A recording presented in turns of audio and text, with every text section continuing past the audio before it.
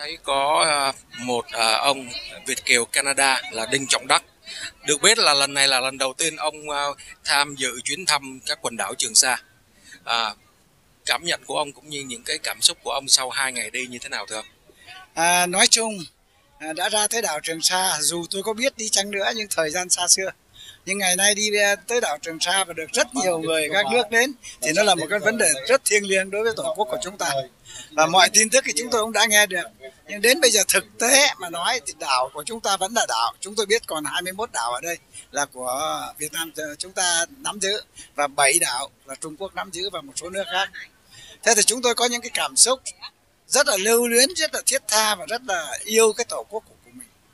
Mà cảm thấy các chiến sĩ ở đây rất là dũng cảm vì chúng tôi cũng đã có những thời kỳ à, đối đầu với với với, với địch chúng tôi biết. Mà bây giờ các à, chiến sĩ đang ở đây hàng ngày ngày đêm đối địch với kẻ thù. Đấy. có nhiều kênh đài báo chí à, thường thắc mắc về những quần đảo của Việt Nam. Và họ không tin rằng là Việt Nam có uh, thẩm quyền cũng như là làm chủ quyền những cái, cái uh, biển đảo đó. Ngày hôm nay có mặt chính xác ở đây là một nhân chứng sống, thì ông muốn nói gì với những người chưa có dịp về như ông cũng như là còn mơ hồ về những cái việc này thưa cái đó là một sự thiếu hiểu biết. Tôi nằm trong cuộc từ lúc chưa giải phóng miền Nam, đã có kế hoạch chương trình để giải phóng toàn bộ quần đảo Trường Sa này. Đó. nên cái đó không lấy gì làm lạ đối đối với tôi cả. Nhưng vì cái cái khả năng của mình trong cái giai đoạn đó thật khó khăn và cuộc chiến tranh còn phải giải quyết trong đất liền.